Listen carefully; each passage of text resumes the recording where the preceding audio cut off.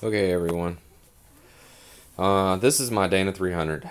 Had some problems with it. Um, I have it in a flipped orientation, uh, driver side drop, and I always had a problem with being able to um, maintain oil level in it. So what I'm doing is on the typical fill hole, I'm running a uh, just galvanized pipe threaded on both sides to a 90 degree to a brass barbed um, hose unit or hose nipple. And then I'm gonna wrap it around to this T that's right here with a whole bunch of filings on top of it.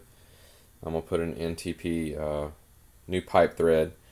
Um, it's a half 14 NTP tap. And basically I'm going to go ahead and tap this hole here. And I'm going to run that T which is going to end up being my fill hole for the 300 here I'm my fill hole. There's the old 300 plug. And uh, this is going to end up being my sight level for how much oil I have in there. What I did was is I put down this nice dirty sock in here as I was drilling it and I have this magnet here. This is an earth magnet which you can see all the shavings on it. See if I can get that focused right there shavings uh, and the back side of it I had it sitting back here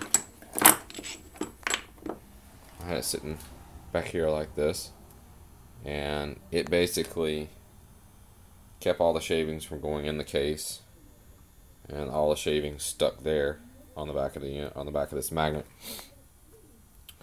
Um, on the top here I drilled and tapped right here.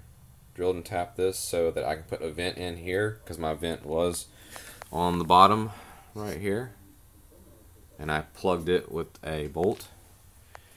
And so what I'll do is get through tapping this here with this tap.